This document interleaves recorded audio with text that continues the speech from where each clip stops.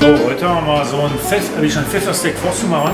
Dafür brauchen wir ein super äh, Rinderfilet. Saisonal ist Pfefferling. Haben wir einen Pfefferling-Schnittlauch ran dazu. Und los geht's. Schön viel Schnittlauch, ja, das ist immer schon lecker. Schnittlauch, Pfefferling und Sand zusammen. Wunderbar. So, das war ein bisschen Butter.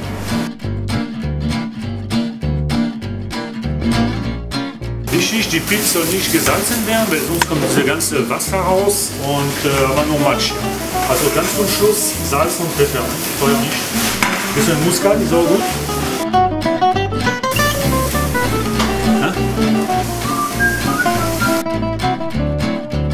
Können wir einen Schluck Weißwein? Nein. Das ist für die Pfefferlingrahmen, ja? Pfefferlingssoße. Dann ein bisschen noch. Jetzt brate ich die Pfeffersteak. So, dasselbe. Und das geht direkt in die Pfanne.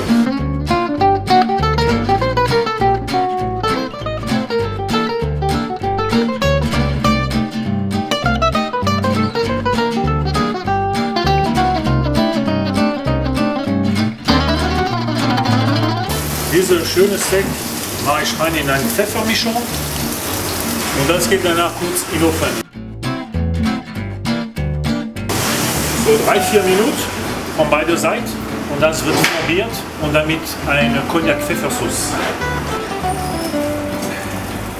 So, jetzt ist die Pfeffersteak schön medium rare, so wie das sein muss. Und jetzt wird alles flambiert, die ganze Sache wird flambiert. Dafür brauche ich ein bisschen Butter. So, dann kommt hier Cognac rein und das wird sofort flambiert, ja?